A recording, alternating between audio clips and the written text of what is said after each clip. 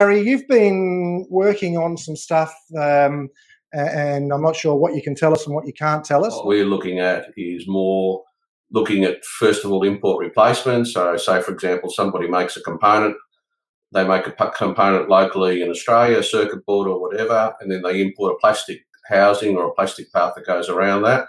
So, what we do is look for somebody who can make that plastic housing in Australia and say, look, you guys need to work together, and that way that'll generate some extra sales for the plastic housing guy, and vice versa. So the idea is to look at areas, say industrial areas, where there's a lot of lot of small to medium sized manufacturers, and get them to help to work together with each other. Uh, the other part of the equation, which is what we'll be doing, is sales. As I said, sales. If you haven't got sales, you're not going to spend any money on anything, and you're not going to generate any employment.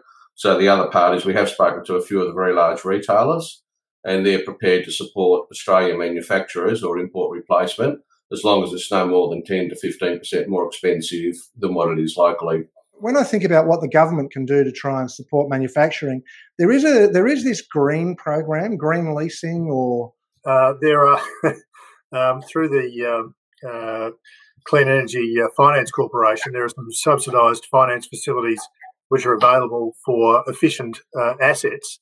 Um, primarily, they're uh, attached to motor vehicle finance, and if there's uh, and there's a subsidy that goes in there, which makes the the loan 0.7 of a percent cheaper if the motor vehicle is energy efficient, and almost all motor vehicles uh, that are new uh, fall into that category. Or you, but although you would be surprised that some purely electric vehicles actually don't. So there's a list of vehicles that do and don't, um, and the CEFC uh, is um, uh, it puts money in tranches into banks and financiers uh, to be lent in that way. Uh, I, am assuming that's what you're alluding to. Yeah, yeah, yeah, yeah.